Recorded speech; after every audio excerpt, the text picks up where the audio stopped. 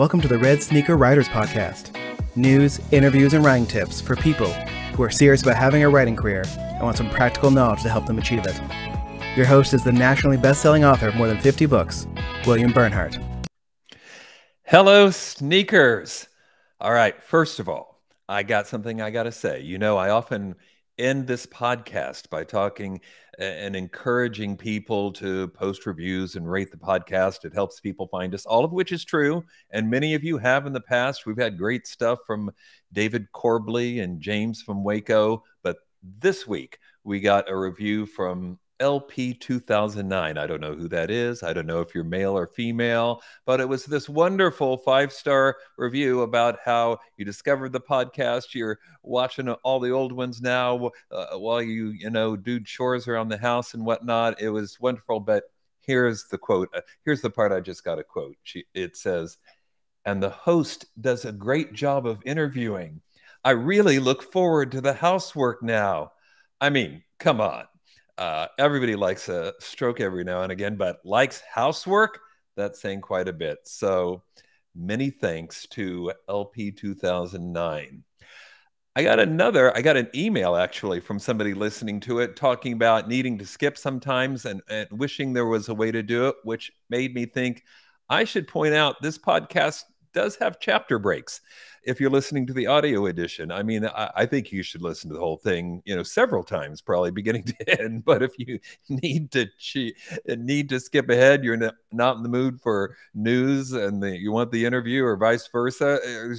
It's it's got chapter breaks. You can fast forward cleanly. The first chapter is usually the intro, where Jesse and I chatter, and the second part is the news. The third part's the interview and the fourth part is whatever I say at the very end. Jesse, you both listen to and produce podcast.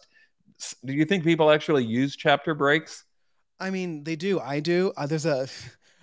I, I listen to a couple of different Star Trek podcasts. One of them, a couple. the, the the two hosts uh spend a good hour just like chit chatting before they even oh, start oh, wow. like the episode review, and pretty much the only chapter break is when they start talking about the actual episode, and I usually do click right. that. Um, uh, yeah, I mean, as a producer of podcasts, I can tell you I don't use chapter breaks only because my podcast host doesn't have that function yet. Mm, yeah. Um, and also, for, at least for my podcast, it would be very hard to make chapter breaks because it's sort of like a like a jam band conversation. It, it sort of segues from thing to thing, and it'd be right. hard and take a lot of time to figure out what the topics are. But a lot of especially like segmented podcasts like yeah this one like are this one. are pretty easy to chapter break and we probably should be doing that with the youtube videos too if we if we're allowed to go back in once can, they're can you do that i use a program called podcast chapters to put the chapters in the audio version i wouldn't know how to do it on video i think i think it's part of the uh the back end of youtube uh, so I'll, I'll, I'll look into that for us because it shouldn't be that hard because I know YouTube videos have chapters. I see them all the time now. I'm not hassling you about the Star Trek podcasts. I love Star Trek. I listen to board game podcasts, but sometimes, you know, if there's a chart, we're going to discuss this at this time, I'll think, no, I don't like that game. I don't want to hear about that and skip it. So, you know, it is useful anyway. All right. My interviewed guest today is Yasmin Angoe, a new author who is taking the publishing world by storm. Her debut novel, Her Name is Knight features an elite assassin heroine on a mission to topple a human trafficking ring and avenge her family. It actually goes on sale on November 1st, but you can pre order it right now. Yasmin is from Northern Virginia, but I think she's in South Carolina, at least today. She's a first generation Ghanaian Af- American who taught English in middle schools and high schools for years and received the 2020 Eleanor Taylor Bland Award for Emerging Writers of Color.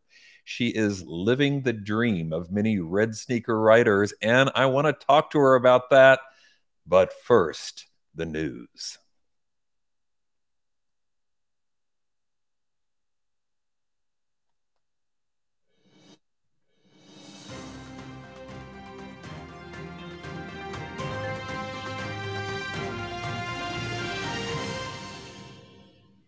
So here's my headline for item number one A renowned female crime novelist who won a million euro prize in Spain turned out to be three middle aged men. okay, go with me on this one of a kind story. There's been a lot of speculation about the identity of one of Spain's most prominent crime thriller writers who wrote under the name of Carmen Mola and has attracted a lot of attention. In Spain, apparently, only about 10% of all authors are women. And the bio indicated that she was a professor and then at nighttime was writing these kind of bloody and violent thrillers that were very popular. Well, last week, a forthcoming book called The Beast by this author won the prestigious 2021 Premio Planeta Literary Prize, which, as I said, is worth a million euros for an unreleased book. And they announced the winner. You can see the picture right there if you're watching the video version. And three guys Jorge Diaz, Agustin Martinez, and Antonio Bochero stood up. These are all known authors. They've written a lot of television scripts, but they decided to write these books under a pseudonym. Why? Here's a quote It hasn't escaped anyone's notice that the idea of a university professor and mother of three who taught algebra classes in the morning and then wrote ultra violent, macabre novels in scraps of free time in the afternoon made for a great marketing operation. Needless to say, much controversy ensued honestly, I don't know what to think about this. Jesse, what do you think? Is this a fair PR scheme or have their reader, readers been duped?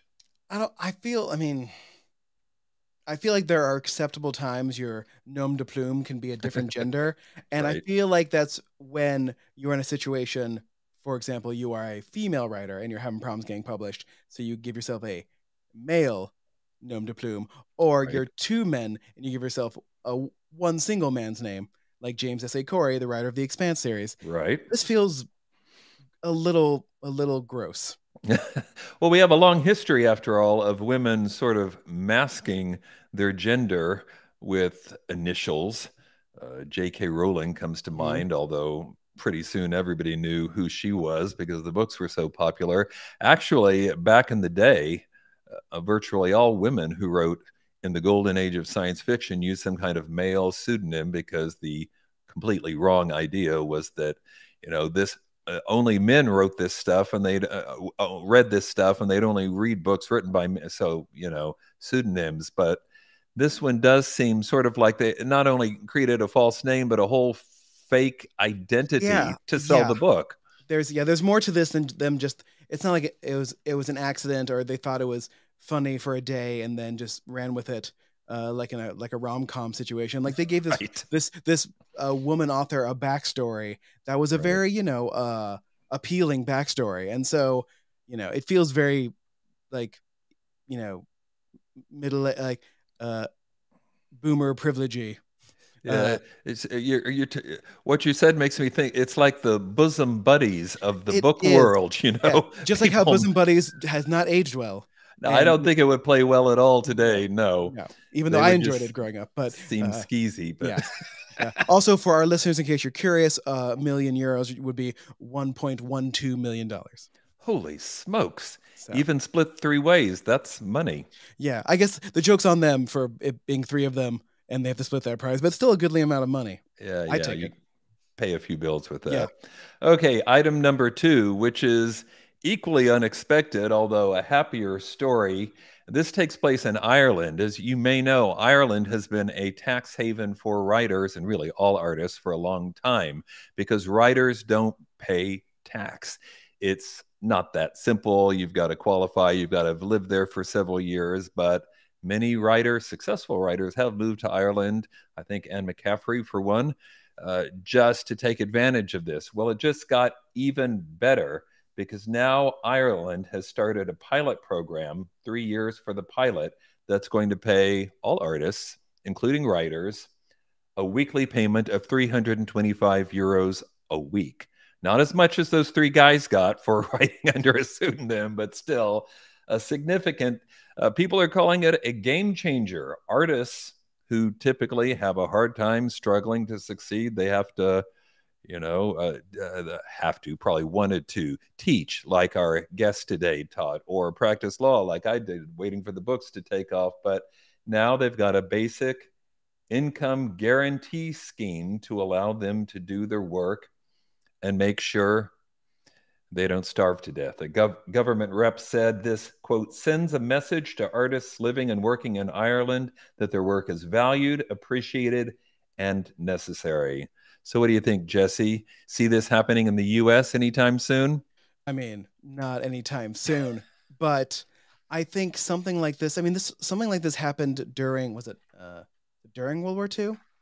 Uh, like you know the there was a the the uh, the sort of WPA project right, right? during the Depression, right? Yeah, during the Depression, yeah, and a lot of great cultural things came out of that. And I, it's true. I think considering that it's I did uh, another Google search, uh, that would be four hundred and forty six dollars a week. Um, that's still not a lot of money. So I think if people could get over the, um, you know, the basic income part of it and was just like supporting artists so they can be artists, you know, right. I think, I think eventually ideas like this will will uh, will catch on. Probably states first or even cities 1st mm-hmm. not like nationally. But it is a great way to at least give them something so they can buy groceries and possibly right, health insurance. Right. Might still need a roommate, but you're not going to yeah. starve. I mean, it harkens back to the old days of patronage, mm-hmm. which usually came with strings attached, but that really doesn't exist in our world anymore. Uh, there are a lot, a lot of programs under the uh, new Biden proposals, but I haven't heard of any that pertain to uh, helping authors sur- survive. Yeah, it'd be nice. Listen, I'm I would happily move to a country that had this for podcasters. So. Oh yeah, there you go. Well, Ireland has a long history of uh, supporting the arts and uh, supporting their and, and and it's why because they you know they support their own in a way. You know, many states have a poet laureate. In Oklahoma, we supposedly have a poet laureate, but they haven't appointed a new one in something like four years, and they removed the salary uh, that the Oklahoma Poet Laureate get. I mean, it was a whopping five thousand dollars for the entire uh, term, which would be either one or two years. But now they don't even do that. There's it's just it's just a, a title and uh, but zero financial support. Well, uh, so like, I don't think we're breaking news by saying Ireland more supportive of artists than Oklahoma. Yeah, possibly. All right, one last item: a social media app just for authors. What do you think? A woman named Allison Trowbridge has proposed and is apparently preparing to launch a new social media app called Copper. Yes, like the metal, Copper, because she wanted to have something that helps authors exchange ideas and deal with this changing publishing world. She says it's going to disrupt the publishing industry, although I'm not really clear on that part. She talked about in this article about how she, it was in Forbes. So, you know, she's apparently getting some financial support, but she talks about when she was preparing, writing, and publicizing her first book. She was very frustrated with all uh, the difficulties in bringing a book to market and uh, the what she calls shameless self promotion that an author is supposed to do. Quote, the platforms that exist really serve readers, but not authors. That's why you see authors struggling to dance on TikTok or do Instagram reels. It requires a very different skill set. Uh, again, Jesse, I got to turn to you that because this is really more your field of expertise than mine. Do authors need their own platform? Do you see this being a hit? I mean, I so one, I think this is a great idea. Two, I don't think it's going to work.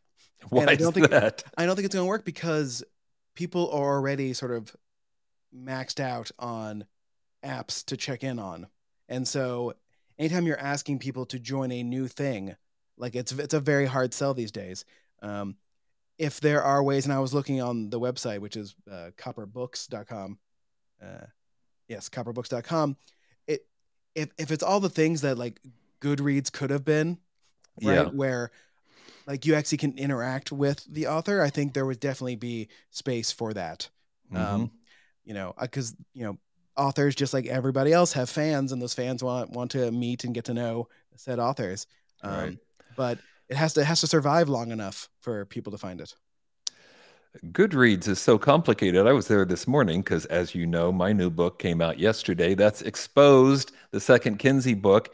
And the page seems so busy. I have a hard time. Oh, thanks. I have a hard time even, you know, uh, navigating it. It's nice. Of course, it connects well to Amazon because Amazon owns it, but it's it's kind of hard to navigate.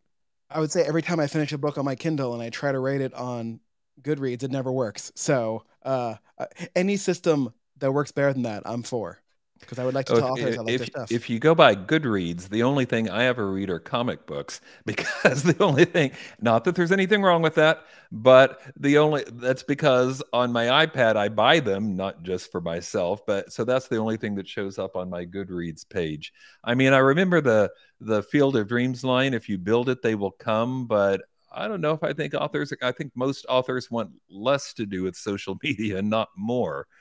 Um, but I guess we'll see. All right.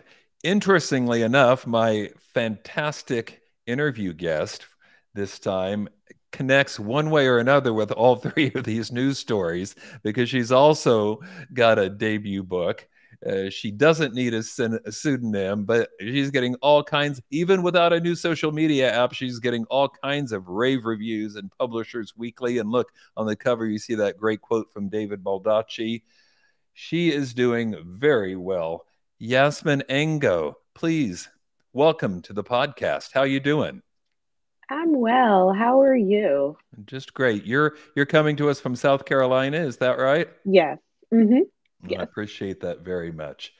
So, traditional first question on the podcast. If you could give writers out there listening any piece of advice, one piece of advice, pick one, what would it be? Um, I would give the advice of uh, make sure that your promise to your reader that you see it all the way through from the start to the finish. And sometimes we don't know exactly what that promise to the reader is when we're initially drafting it or whatever, but it's just whatever you you say that you're going to deliver to the reader at the time just make sure that you see it all the way through. Um, mm-hmm. And it's something that I always constantly have to work with. Um, and when I'm working as a developmental editor and um, di- working with other authors, that's also something that I try to remember. Sure. This first book of yours, Her Name is Knight, is indeed, it's not even technically out yet as we record this. It's a few days before release, but it's got the most stellar lineup of reviews and endorsements I have ever seen. How long did you spend writing this thing? Um, so it took me, I started it in um, 2018 and then finished it around the summer of 2019, but I had been kicking it around in my mm-hmm. head um, for several years before that. I just didn't know how I was going to execute it, and it wasn't coming to me yet as you know just how i wanted to do it. Um, i kind of had the character um, in my mind i just didn't know what I, what her story was going to be yet. So in 2018 i was just like you know what? I'm just going to start i was writing women's fiction or trying to write women's fiction prior mm. to that. So then in 2018 i was like you know what? I'm going to write what's really on my you know what i really really like to read and watch which is thriller horror um, yeah. all those kinds of things. And so i just kind of started it then. Yeah about a year I can relate. You remind me of my own, you know, when I started, I was going to write this uh, brilliant bit of literary fiction, which oddly enough was later published and didn't change the world, but that wasn't going anywhere. So I thought, how about a mystery? I think maybe I could handle a mystery. And, and of course, that's mm-hmm. uh, changed everything. So this book is out. Uh, you know, uh, you've got a story that's not completely unlike those uh, the, the, the first news item I talked about, except in your case the story is actually true. you you actually were a teacher and you were an editor and you really are female. And here's right, your first right, novel, right? So yes, you... and I really have kids too, and all of that. So. Uh, well, and we all know how much time that takes out of your day, and somehow you mm-hmm. found time to write. How'd you manage that? Um, I don't know. I, I, I got very little sleep. Um, I just um, I really had to work.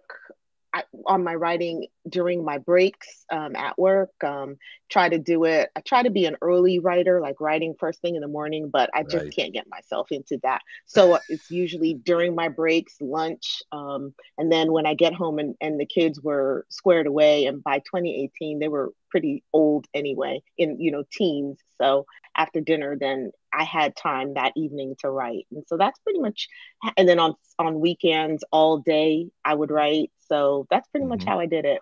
Anywhere I could, you know, I could fit it in is where I got it in. Do you have a regular schedule? Do you make yourself write every day or uh, uh, that may not even be possible in the life you're living right now but yeah no i try though because i just like um, with outlines i just something about structure really makes me kind of nervous. So I uh, really write just when I feel really creative and really compelled, which for the most part is like every day. But like there'll be days that I haven't like I didn't write today because I just didn't feel compelled to do it. I mean, it just mm-hmm. really has to come to me and I have to feel it's like an urgency. You got to get these words down. And so mm-hmm. that's where I feel like my writing sounds the best is when I'm writing when I really, really want to do it. And so that's, you know, that's typically how I do it. So there's no set time. But mm-hmm. if I'm on deadline, like I had to do yeah. with book two, um, then I did make myself write every day, especially when I got closer to deadline because I couldn't push it, you know, any further. So I made, you know, I made sure that I wrote every evening and definitely on the weekends is when I really kind of like got it in. Well, I think that's a sign of your your dedication. That would never work for me. I can always think of something that sounds more fun than writing, but I have been at it for a while. That might be a factor, but uh, you know, I have to set my time and make myself go do it. So you didn't outline this at all, because this is no. a pretty intricate little thriller. There's a lot going on, and yeah. no outline. You just, as no they say, outline, no it. official out. I pantsed it the whole way through, and then you know, after I did the the zero draft, then I went back and then put in the parts that I felt, you know, were missing. Well, there were a lot of parts, but yeah, I just right. wrote all the way through. Yeah, I, am I'm getting this isn't your first draft. Uh, if it is, you're the best first drafter in the history of writing. But but that's right. Yeah, that wouldn't be me. but still, you went through it without an outline. That's really pretty impressive, you know. Uh, so okay, so you've written this book. What then did you how did you i know you have an agent how did you find the agent how did you find the publisher what happened next yeah so let's see so i finished um, in uh, 2019 and i was with another agent at that time who was trying to sell my uh, women's fiction and mm-hmm. i decided that you know we had different um, vision uh, vision so i parted ways and decided i was just going to try fresh with this new story that was like a story of my heart and i just knew i was like people are going to love it and it's going to be great and all this other stuff um, and i was going to start january of 2020 so january of 2020 i started querying and the rejections just kept coming in and mm-hmm. coming in and um, i had so many rejections and um, was it wasn't until maybe like may um, may early june is when i got um, interest from my current agent now, Melissa Edwards. And mm-hmm. by that time, I was like about to quit. I was, I told myself, I must not be good because some, you know, the story that I just knew that I was, that, I, that people were going to love. Nobody loves it. They're all telling me no. And I don't know why they're telling me no. Like there's no concrete something that they're saying that I need to fix. So maybe I just suck. And I mean, yeah. so I'm just gonna quit. And mm-hmm. um, and then right about the time, you know, I had I had queried her before that, um, before I had decided I was gonna quit. So it was with her and I was like, I'm just gonna quit. And then one of my friends in um one of my writing groups, uh, Crime Writers of Color, she was like, Hey, you know, there's this uh, contest, this Eleanor Taylor Bland Award um, with Sisters in Crime. Why don't you, you know, submit? And I was like, yeah, I don't know. And I said, fine, I'll just do this one more thing. I'm just going to do this one more thing. And I'll submit, even though I'm not going to win. Uh, it's just because I never win anything. Nothing good ever happens to me, and I'm going to quit. And um, so I did. I submitted it, and then I, for you know, forgot about it because I just knew I was going to lose. And then or like I said, um, late May, early June. Then Melissa emailed me and was like, "Hey, mm-hmm. you want to jump on a call?" And I was like, "What? Like someone yeah. wants to talk to me, an agent? What?" and like so she offered, and I was just like, "Oh my gosh, wow!" You know, and I was so proud about that. And then I got, I was checking my email like a week later, and I saw that I had like an email sitting there talking about, you know, you're a winner. And I thought it was a spam. And I was like, oh my gosh, this stupid spam. I was about to put it in the junk mail. And so I didn't read it for some days. And it, I was about to put it in the junk mail and delete it. And I was like, let me look at it again. And it turned out to be, you know, like for real, you're a winner. And that's how I found out that I won the award. Um, but and everything went quickly from there. Yeah. But the award didn't help you get the agent, if I'm following the no, story correctly. The agent came before the award. Yeah. And, right the, and the, the agent award. came from an email query? Yeah. Mm-hmm. Uh, I think everybody listening to this is going to want a copy of your email query because you must have, you know, people do drafts and drafts and drafts of those things trying to get it right. And apparently you did. Did you have a special technique or trick or what was it? No, because remember, I've been, I was getting like rejections all the time. So I was like, I suck at email. I don't do well with pitches. I don't do well with um, trying to whittle my, my, you know, 400 page book down into like three paragraphs on a letter right. you know what i mean mm-hmm. and and yeah. sounds like this is why i didn't go into marketing because i just am so bad at it and so i was surprised too so she must have seen something you know in there that um, in that mess of a query that you know sparked her interest but yeah she came before the award. So well, that's fantastic. You're mm-hmm. that's the dream come true. I know for for many listening. And and while I'm thinking of it, let me say I can see some people are watching this live. If you would like to ask Yasmin a question, please just type it into the chat box and I'll see it or Jesse will flag it so that I have no choice but to see it and, and we'll we'll see that she answers the question. So uh this book, you know, most people's first book is, you know, the protagonist is a thinly veiled version of themselves. And this mm-hmm. book involves a female assassin. So I assume that's basically you. Am I right about that? Oh, who me? Oh no, I haven't. if that happened, I can't say. No, well, I, I'm absolutely not that, you know. But um, no, no, no. I mean, there's definitely elements you know, um, because she's from she's from Ghana, and so that's where my my parents were from. Well, they immigrated yes. here from there, um, and I definitely wanted to highlight my culture with this book, and that was one of the things that really sparked me when I was um, when I started writing it in 2018. Is by that time I was dealing with the death of my dad. He had been um, he had passed a few years prior to that, and so I was dealing with that grief. So a lot of the themes that you see um, in the book are things that I was dealing with at that time um, grief and, and mm. uh, relationships with fathers, great relationships with fathers. I wanted to um, really highlight our culture because that was something I didn't see in these books that I was reading. Um, and these movies that I was watching was a protagonist that was so much like um, John Wick and Jason Bourne and Jack Reacher and all of them, but you know they didn't like look like like me and, and they definitely weren't from you know a place like ghana so i mm-hmm. that's those are the things that i wanted to write about the one thing that is similar between me and um and nina the protagonist is we both like lemon pepper chicken wings so yeah, when you, you read go. that you know that there is that the author likes that and so some of my friends when they read it they're like oh she put the lemon pepper i can't help it i love them so so there is an autobiographical element here Mm-hmm. Now, was there research involved? I read that you uh, grew up maybe in Virginia. So, had you been to Ghana or had you just heard parent stories or what? It was a little bit of both. So I, I lived in Ghana for a couple of years when I was very young, so my parents could finish um, school, and then I went back again with my dad several years later to see family and everything like that. But a lot of the um, the the stories and everything um, came from my mom. My mom told me just about all of that, um, and mm-hmm. my dad too, and and also, um, yes, I grew up in Virginia, but Virginia, that whole D.C. area has a really big uh, immigrant culture, and a lot of um, Ghanaians um, come there to the DC area to go to school and to work and things like that. So when I was growing up, I actually, you know, was like in two different cultural worlds. We had I had my aunties and my uncles all over the place, and and uh, you know that's who we really socialized with. Um, and then when I'm mm-hmm. at school, then I have my American friends and things. So it was it was a little um, it was it was different, but it was definitely something that um, that really helped me to become like who I am today. Hmm. And then there's the part about the uh, being an assassin. How did you research mm-hmm. that?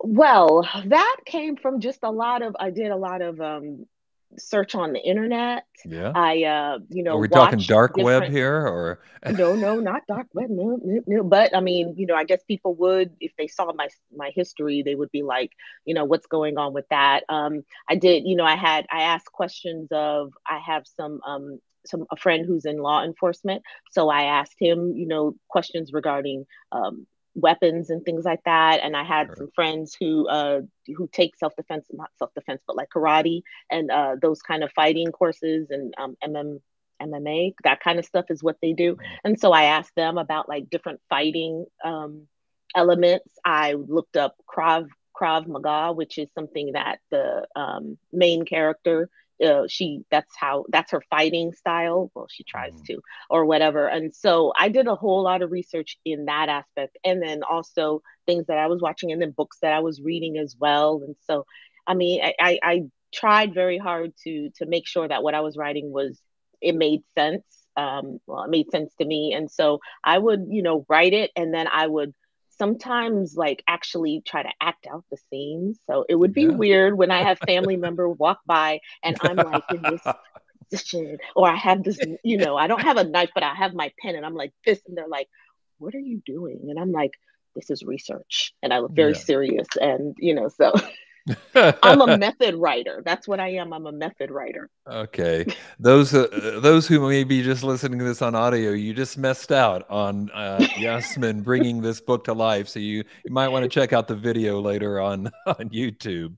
You see my We've, fighting moves. Yeah, we got a we got a question here from Sharon who is also a writer of color, I know, and a wonderful person.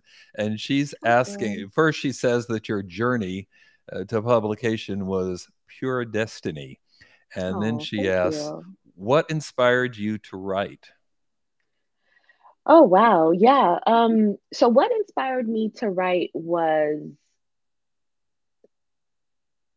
if we're talking about way back in the day when I was in middle school, and sure. that's when I really started to write. What inspired me to write was because I was I was lonely. I was an mm-hmm. only child, and um, you know, like I said, I was a little different because I had a different, you know, my home life was a little different from everyone else's. And so i i wanted to write things and and be in imaginary worlds and, and things like that. And my mom was you know working like two jobs at a time. So and i was with babysitters. So the only way to really entertain myself if i didn't want to watch soaps with my yeah. uh, babysitter was to write and to read. And so i just really put myself in a world of of reading and then i just decided i'm going to write my own stories. And you know my imagination was so big and so that's really how that's what inspired me to write. And and writing is cathartic for me so mm-hmm. even when I don't, when you were asking like, do you write every day or whatever, when I when I don't write, even when I don't write, I'm still thinking about writing. So I literally yes. think about writing 24 seven. And when I don't write for too long, I start to feel bad, and I'm like, oh my gosh, mm-hmm. I need to mm-hmm. be writing, and I don't feel right until I start writing. So I really should make myself write every day because then that's when I really it's like a release and I get a lot of things out. Um, but yeah, definitely if it's not if if if that's not what I'm doing, writing literally, then I'm thinking about it all the time. Yeah, that's a story I you think a lot mean. of people, yes, can relate to. That seems very, very real. So, uh, does your female assassin in the book cook? Because I understand you do. I, I, at one point I wanted to be a chef, but I just, you know, I didn't do it. But no, she does not cook actually. maybe later. Maybe the, is there going to be a sequel to this book? There is a sequel. Yeah. yeah. I thought that might be the case. Well, maybe, but later. there won't be cooking in that one either. No, still not from not. her at least. You're gonna no, have no. to. Well, maybe in the supporting cast. and then pretty soon you'll have recipes in the back of the book. And no, maybe mm-hmm. not. but you do like to cook. What's your best dish?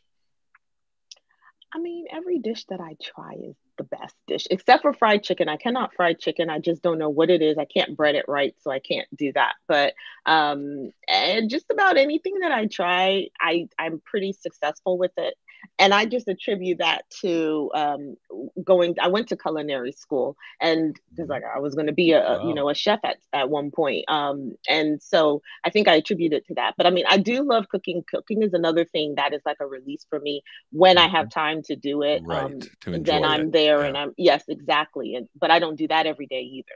I do that less than I do writing, probably. Yeah, that that part I can totally understand. But you must have a fa- now. Fried chicken was well, I, uh, my mother once I mm-hmm. was coming over and she said, "I'm making your favorite," and I thought. Mm-hmm. I have a favorite. What's my? well, it turned out it was fried chicken. I'm not sure, but whatever. Uh, you know, she's my mom, so we'll just go with it. Mm-hmm. She uh, said, "I'm going to tell you what your favorite is." That's right. It is maybe her favorite to cook because I don't think it was is her favorite thing. So you spent a lot of time on this book, both the first draft and writing and polishing and whatnot. Oh, uh, Sharon, who I mentioned before, is now in the chat box saying, "Yeah, I can't fry chicken either." So there you go, Sharon. Thank you, thank you. Um, what are some of the things? There must be a few things you learned about writing in the process. I mean, going from thinking about it, maybe doing some short pieces, to actually putting together and polishing up a finished novel, a, a full length novel for publication. You remember any things maybe you learned along the way that you didn't know before?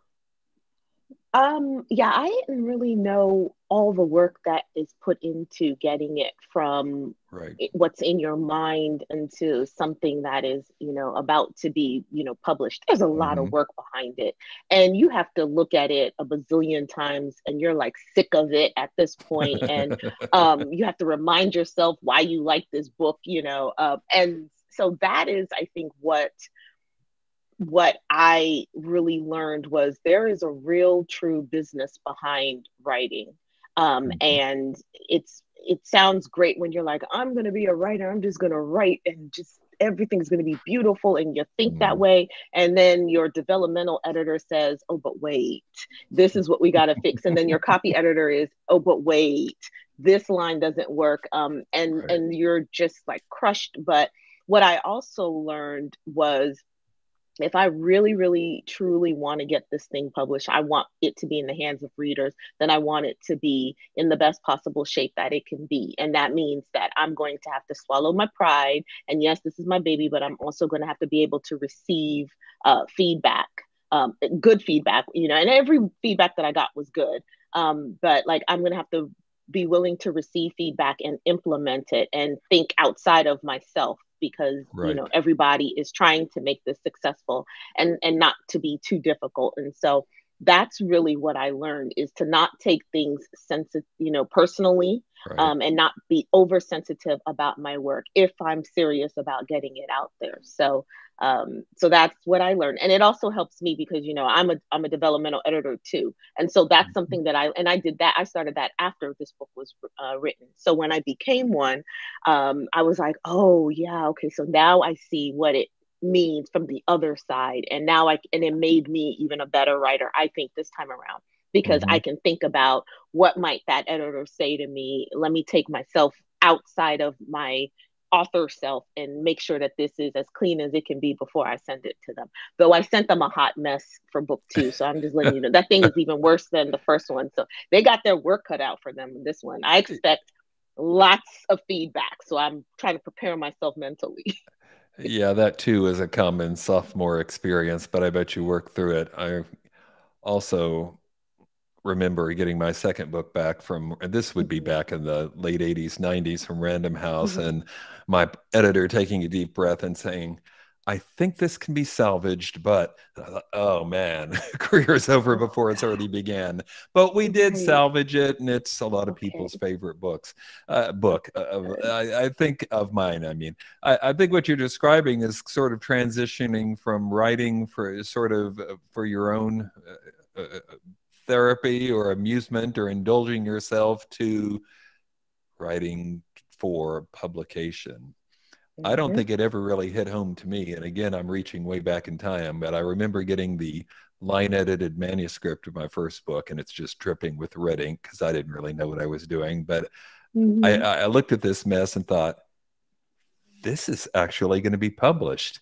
I mean, people are going to read this. People I, I know, people I don't know are going to read this. Mm-hmm. And boy, did I spend a week getting really serious about trying to make that book good after that. That changes the whole landscape. It we got another question from James, and he wants to know Did you have beta readers when you were? I did. I did. This? I had, um, I had, mm, I maybe had about three people who read parts of it two people who um, are actually beyond my beta so they're like my critical partners because they mm-hmm. read the whole entire thing. And so these are uh, two people that I, I, really and truly trust and they gave me phenomenal um, advice on you know what to do with a certain aspect um, with the, the organization that i talk about in my book. And and that gave me a whole different perspective. And so these two um, reader or yeah the two readers they are they're just great and i'm so lucky to have them one of them is a published author and the other one um, she is um, she is aspiring to be and so so those were two different perspectives but yeah i i try to i take I value them and I try not to send it to too many people because you know um, you get a whole lot of different ideas right. at that point. So it's I really um, keep it to the people that I trust the most to give me honest um, opinions um, and they know my writing style and and so I really value them. Mm-hmm. Sure. I read on your website, which by the way is very clean, very well done, well executed. Thank you. Uh, Thank but you. I, I read that you listen to audiobooks a lot. Now, what is that because you're on the go all the time and, and can't hold the book in your hand, or do you actually prefer the audiobook? Well, I prefer the audio. I, I used to be like, you know what, I'll never like an audiobook. And then I mm. became a developmental editor. And then I was like, I have to use an audiobook um, because when I read it with my hand, with you know a paper copy, then to me it feels like I'm working because I have to read, you know, the the the edit the the authors who are I'm editing. I have to read their work, um, even though that's not like paper copy or whatever. So I prefer. Mm-hmm.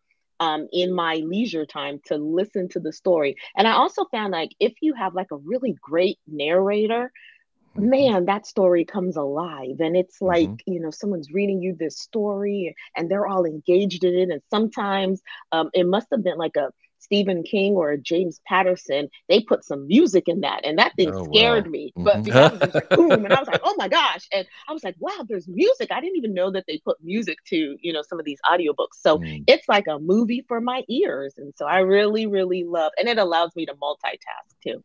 So it doesn't feel like work and mm-hmm. it's just really enjoyable. So I'm an audiobook person. What about you? I know it's my you're I'm interviewing you now. What about you? Oh. Uh, you know, I used to listen to audiobooks all the time when I drove more, like when I did mm-hmm. practice law and would sometimes have to go here and there. And even more recent, but of course, especially since the lockdown, I drive so little. Uh, yeah. But I but I found myself listening to both podcasts and audiobooks using AirPods like the ones I can see that you're wearing, mm-hmm. and and do it just you know like when I'm fixing breakfast or when I walk my cat or whatever. Just did you say when, when you walk your cat? Oh yeah, don't you? I mean, doesn't everyone? I, I didn't know people did that. okay. In a sling. That's he doesn't cool. actually walk, but he likes oh. to get out. And I mean, who doesn't? I wouldn't want to be cooped up in this house all day. Right, right. So, do you have a favorite uh do you have a favorite book, audio or otherwise, or maybe when you were a kid, something that stands out that really meant something to you? Sure. So, one book that really stood out, um, honestly, was To Kill a Mockingbird. I don't mm-hmm. know, you know, that's everyone, but I loved it. Right. I really, really loved that story. I loved Boo Radley. It was just something of just the way it was. It was beautiful to me, um, right. and so that is my favorite book of all time. Mm, um, good one. And I, I love, you know, my favorite authors. I, I love a Stephen King. I love James Patterson. I just read like I, love John Grisham. So I and um, Philip Margolin, which you know they're they're fellow lawyers too. So I I really like like all those mm-hmm. kinds of thriller legal legal thrillers and all sorts Great. of things. Um, I read so I read across the gamut though. Um, women's fiction. I'll read some literary fiction if you know if if it's if I can get into it. I mean, but it's got to be. I like something that's like pulse pounding and like is really centered around like right here, right now, and, and things like that. So, yeah. Yeah, absolutely. So what's what's next from you? I think you mentioned a sequel. I don't know if that's going to be your next book. I bet you already signed up for one though. So what can we be looking for you after Her Name is Knight? Yeah, so um so it is a sequel and that should be coming out next next year and then and then I'm just working on some samples for some others that I'm going to um, to sub to the editor and, and see you know what she likes. I have some ideas cooking around, so I um, I think I'll do okay with them. I'm excited about them. Mm-hmm. Um, so no I hope that they'll be excited too, and that I get to do it. It's going to be more uh, a standalone, so it won't be part of the sequel, um, part of this. And I don't know if I'll even have another um, after you know book two i think i would like to have like a, a three book um, of um, of Nena Knight um, mm-hmm. if if everyone likes her enough that they want that so that's kind of what my plan was yeah, that sounds like a great plan to me. Hey, Yasmin, thanks so much for being on the podcast. And I encourage everyone, this is a terrific book. Pre order it now or pick it up when it's on the stands. You'll be very glad you did. Thanks for being on the podcast. Thank you. And also, congratulations for your book release yesterday. So. Yeah, thanks. Appreciate it. Welcome. Thank you. Hey. Bye. See you again soon, I hope. All right, everyone. Well, you heard me rattling on about reviews earlier in this show, so I won't do it again. But, you know, we do appreciate that, and it does help people find the podcast. And you also heard me inevitably dropping the plug about my new book, Exposed, which just as we record this hit the stands yesterday. No longer a pre-order. You can get the real deal. Uh, Je- Jesse showing it with with the first book in the series, Splitsville, and now the new one, the second Kenzi Rivera book, where she gets in even more trouble, if you can imagine such a thing, and that's called Exposed. Let me also say that uh, Yasmin made it clear how much you know people having her writing group and beta readers meant to her. If you're writing or aspiring to write, join our Facebook group, the Red Sneaker Writers Group, so you can get in between updates on what's going on in the world before between podcasts. Keep writing, Red Sneaker Writers, and remember, you cannot fail if you refuse to quit. See you next time.